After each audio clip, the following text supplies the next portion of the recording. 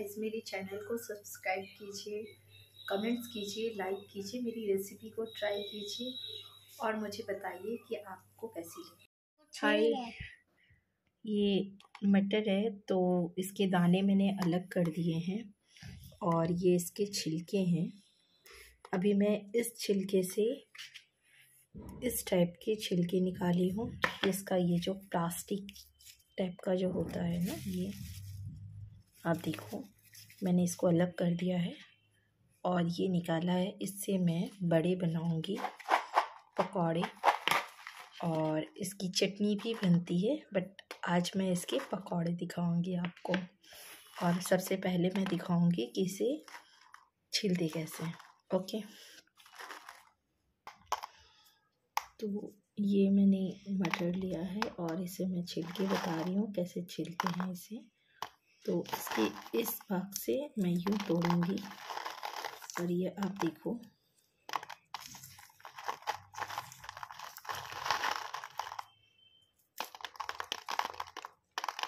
ये अलग हो गए और ये देखो। इसकी इसके बाद तो बहुत हो गया दादा। और ये देखो। इधर थोड़ा सा बच गया।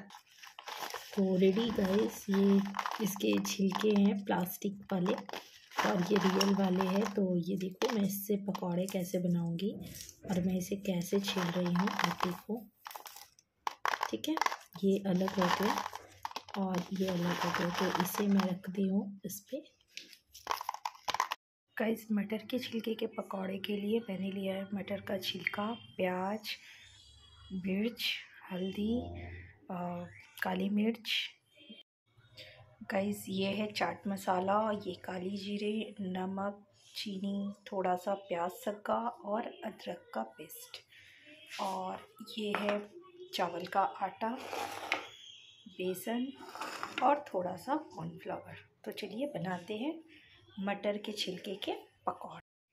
मैंने मटर के छिलके को थोड़ा सा वार्म वाटर से धो लिया है, हल्का वार्म वाटर से धो लिया है। तो अभी मैं ले रही हूँ मटर का छिलका। इसको छोटे छोटे काट लिया है मैंने।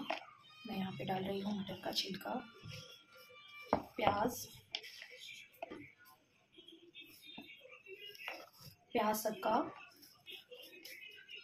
चीनी, नमक, जो भी मसाले हैं वो मैं सब डाल दे रही हूँ इसमें। ये आप देखो। ये मैंने इसमें सब डाल दिया है। ओके, अभी मैं डाल रही हूँ। चावल का आटा। अच्छा बेसन, आप अपने अकॉर्डिंग लीजिए। मैंने चावल का आटा यहाँ पे चार चम्मच लिया था। इस चम्मच से चार चम्मच लिया था। और सेम एज बेसन भी वैसे ही लिया था बट बेसन थोड़ा ज़्यादा लिया था मैंने। तो यहाँ मैं बेसन अब अपने हिसाब से डाल दीजिए। यहाँ मैं ले रही हूँ कॉर्नफ्लावर तो ये मैं कॉर्नफ्लावर एक चम्मच ली हूँ, ज़्यादा नहीं। इसको ड्राई जैसे ही है, इसको हम लोग हाथ से मैश करेंगे। हाथ को अच्छे से वॉश कर लीजिए। लेट्स सी कि मैं हाथ से ही इसे मिला रही हूँ।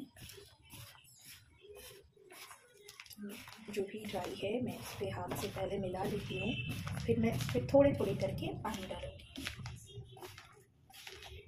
थोड़े थोड़े करके पानी देंगे एक साथ पानी नहीं देंगे और मैंने थोड़ा बेसन रखा है साइड में अगर मुझे लगेगा तो मैं फिर से ले लूँगी मैं इसे थोड़े अच्छे से मैश करते हुए मिला लेती हूँ मैं पानी दे रही हूँ इस चम्मच से दे रही हूँ टू थ्री एंड फोर तो मैंने फोर चम्मच पानी दिया इसे मिलाएँगे अच्छे से जब तक कि हमारा बेसन और बाकी चीज़ पकौड़े की जैसा बैटर ना बन जाए। जब तक पकौड़े के जैसा बैटर बनता है, अगर इसमें बेसन की कमी है तो हम लोग देंगे। अगर इसमें थोड़ी पानी और लगेगी तो हम लोग वो भी देंगे। और इसे हाथ से ही मिलाए। तो ये हो गया मेरा बैटर रेडी। दिख रहे हो? और यहाँ मैं तेल गरम कर रही हूँ। तो बनाते हैं पकौड़े। और चाय के साथ इसे सर्व करें। बहुत अच्छा लगेगा। ट्राई करके देखेंगे मैं पकौड़े डाल रही हूँ। तो गैस ध्यान से बिकॉज़ तेल बहुत गर्म होता है तो ये आप देख रहे हो। इसमें मैंने हरी मिर्च नहीं दिया है बिकॉज़ मेरे घर में छोटे बच्चे हैं। तो आपकी चॉइस है, आप दे सकते हो।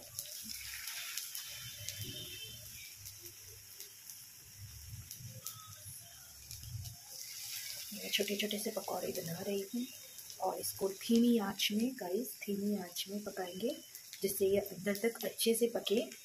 और ये थोड़ी ब्राउन रंग हो जाए तो गाइस मेरा हाथ थोड़ा पक गया। तेल लग गई गर्म, कोई बात नहीं है।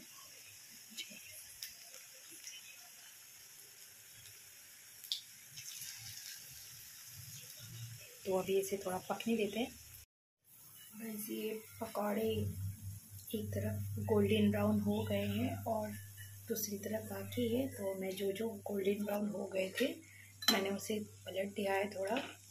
और जो नहीं हुए हैं, उसे छोड़ दिया है। और इसे आप, मैंने इस तरह से बनाया है, आप इसकी सब्ज़ी भी बना सकते हो, इस पकौड़े से आप सब्ज़ी भी बना सकते हो, चटनी के साथ, सॉस के साथ, चाय के साथ आप इसे इंजॉय कर सकते हो। और एक चीज़ है गाइस अगर आप घर में कुछ नहीं है तो आप इससे सब्ज़ी भी बना सकते हो। बिकॉज़ हम लोग मटर का छिलका लाते हैं, उसे फेंक देते हैं। तो आप उसे इस तरह से यूज़ करके बना सकते हो। और इसमें एक प्लास्टिक टाइप का जो छिलका होता है, उसे फेंक देना होता है। अब और टाइम पे बहुत सारे मटर होते हैं, इतना छिलना पॉसिबल नहीं होता है। बट अभी सीज़न का मटर है तो इसलिए मैंने इससे बनाया है।